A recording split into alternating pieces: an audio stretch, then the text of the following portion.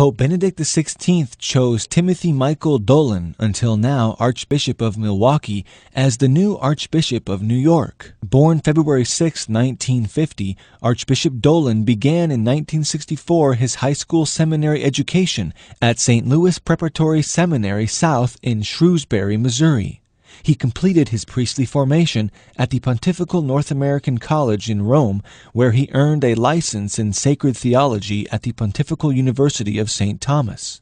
Archbishop Dolan was ordained a priest on June 19, 1976, and in 1979 he began studies for a doctorate in American church history at the Catholic University of America. On his return to St. Louis, then Father Dolan served in parish ministry from 1983 to 87, during which time he was also liaison for the late Archbishop John L. May in the restructuring of the college and theology programs of the Archdiocesan Seminary system.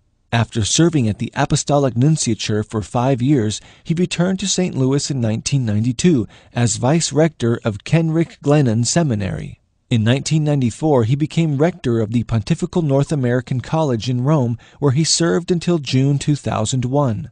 While in Rome, he also served as a visiting professor of church history at the Pontifical Gregorian University and as a faculty member in the Department of Ecumenical Theology at the Pontifical University of St. Thomas Aquinas. On June 19, 2001, the 25th anniversary of his ordination to the priesthood, then Father Dolan was named the auxiliary bishop of St. Louis by Pope John Paul II, choosing for his episcopal motto the profession of faith of St. Peter, Ad quem ibimus, Lord, to whom shall we go? Timothy Michael Dolan was named Archbishop of Milwaukee by Pope John Paul II on June 25, 2002. He was installed as Milwaukee's 10th Archbishop on August 28, 2002, following the controversial leadership of Archbishop Rembert Weakland. During his years in Milwaukee, the Archbishop elect of New York earned a reputation of a fish and chips type of man, as he described himself when appointed to Milwaukee, capable of building a good relationship with his presbytery while restoring the sense of authority and fidelity to the teachings of the Church. Archbishop Dolan comes to New York with the reputation of a man who deals comfortably with the press and has a passion for Catholic education.